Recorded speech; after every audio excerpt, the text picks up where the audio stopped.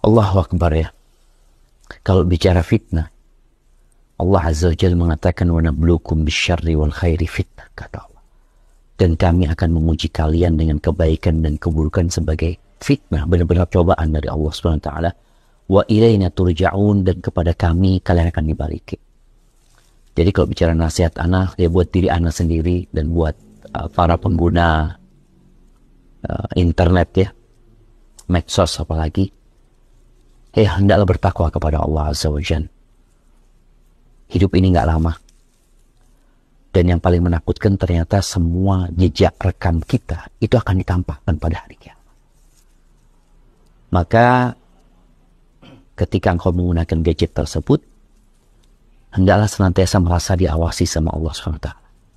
Kita tuh kalau sedang pegang handphone kemudian dilihat banyak orang, biasanya kita akan melihat yang baik-baik. Tapi tatkala kita sendirian, setan itu akan datang dan akan senantiasa membisikkan kepada kita apa-apa sedikit ini itu. Nanti bertobat minta ampun sama Allah SWT maka nasihat anak ingatlah alam ya alam bi Allah ya. Apakah dia nggak sadar bahwa Allah melihatnya? Jangan jadikan pandangan Allah itu sebagai pandangan yang diabaikan. Karena tatkala kita lupa sama Allah Allah akan membuat kita lupa sama diri kita sendiri. Itu. Gadget yang bisa menghasilkan uang mungkin, gadget yang bisa orang tambah ilmu, itu akhirnya enggak gitu. Bahkan benar-benar melalaikan. Sebagian orang itu kalau main game kadang-kadang kita lihat ya Allah berjam-jam dia melakukan itu, tapi dia nggak bisa baca Quran setengah jam, jangan setengah jam, lima menit mungkin nggak bisa. Satu muka.